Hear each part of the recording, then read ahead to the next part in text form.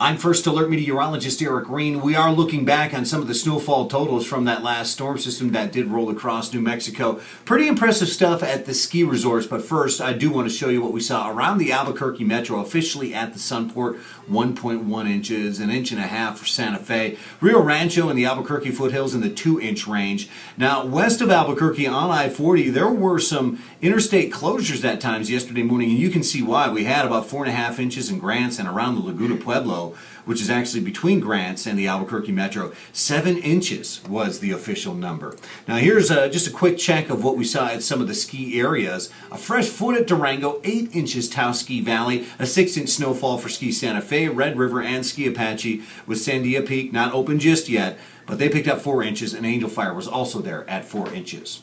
Coming up tonight at 5 o'clock, I will be working on our ski and snowboard report, and I will have the latest ski totals and snowfall totals from all around the state. Every resort that's close to Albuquerque will be covered in this one.